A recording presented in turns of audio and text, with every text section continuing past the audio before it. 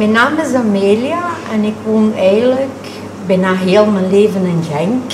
Eigenlijk ben ik hier terechtgekomen. Mijn broer heeft het cafeetje opengedaan en ik ben begonnen als hulpje.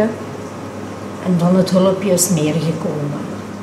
Uh, wat ik mij herinner als jonger zijnde was wel dat de Nieuwe Kempen een heel uh, drukke straat was met heel veel cafeetjes en winkels. En je had zelfs uh, een bank, je had een winkel met visgerij, hengelgrief, uh, die soort dingen. Maar ja, die zijn allemaal verdwenen. Dus er is eigenlijk nog maar heel weinig hier te doen.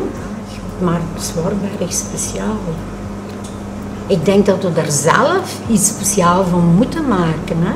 Omdat de mijn weg is, moet je het met andere dingen gaan doen. Hè?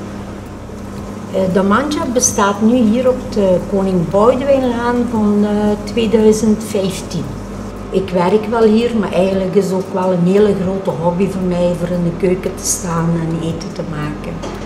Dus ik beschouw dat eigenlijk werken, maar met plezier werken, van dingen die je graag doet.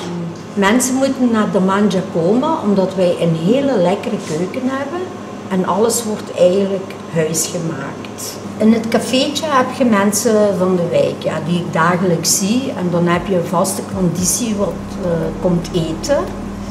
En dan heb je ja, de mensen van Biomista eigenlijk. Hè. De mensen van Biomista en die komen echt uh, van Nederland, over heel België komen ze echt naar hier. Ja, voor een hapje, groot of klein, moet je bij Damanja zijn.